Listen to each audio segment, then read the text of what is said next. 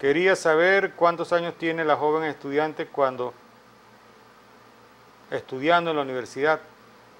No vaya a ser como Gaby Arellano. 22 años. Eh, entré en la universidad en el 2015 y eh, me, estoy próxima a graduarme en enero o marzo. Ok. Respondió la, la pregunta.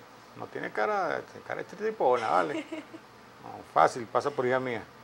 Eh, bueno, mensajería, soy pensionado y tengo siete meses sin poder cobrar. Lamentable. Me preguntan que si hoy día es Sagrado Corazón de Jesús, no sé. No sé si alguien me puede ayudar con eso.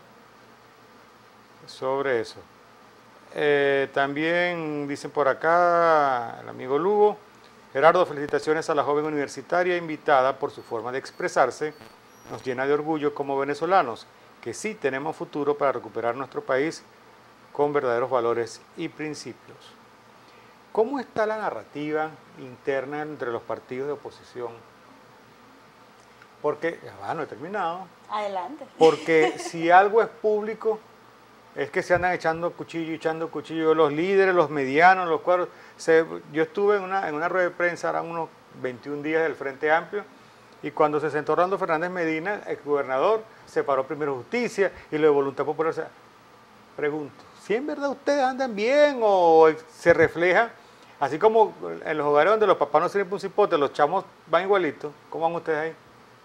Bueno, primero yo estoy aquí representando a, los venezolanos, a los jóvenes venezolanos, a los estudiantes que estamos en las universidades, eh, más allá de un partido político, más allá de cualquier cosa.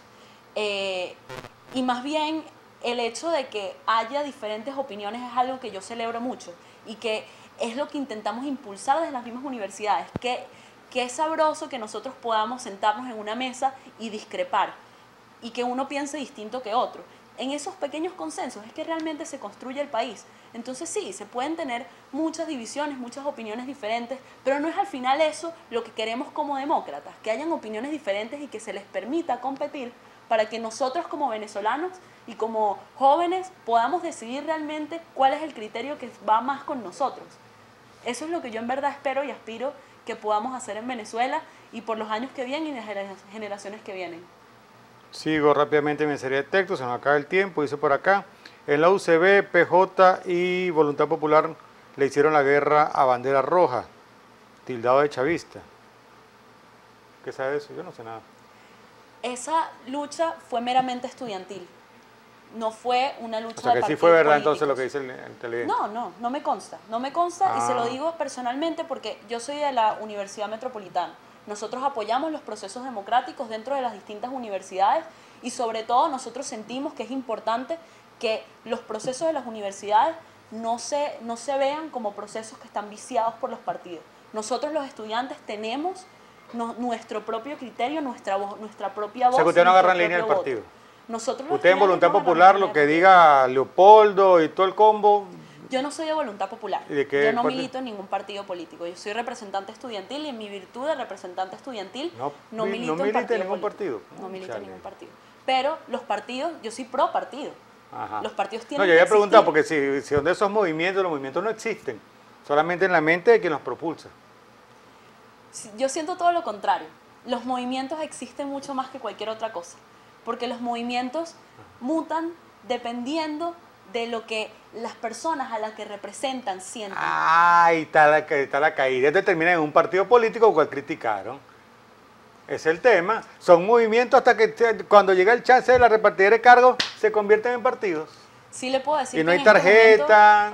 sí le puedo decir que, que, que al menos yo hablo por mí y hablo por cientos de jóvenes y sobre todo por la naturaleza de lo que es ser representante estudiantil.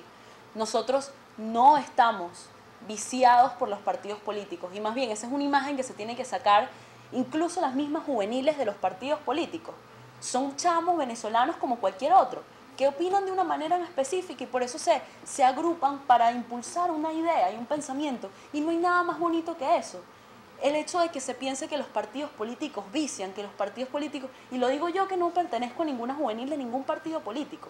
Yo represento a mis estudiantes, yo represento a la juventud venezolana y claro, yo tengo mi, mi, mi, postura, yo tengo mis ideologías, yo tengo todo lo que, lo que, lo que yo siento. Demócrata, liberal, republicana, ¿cuál?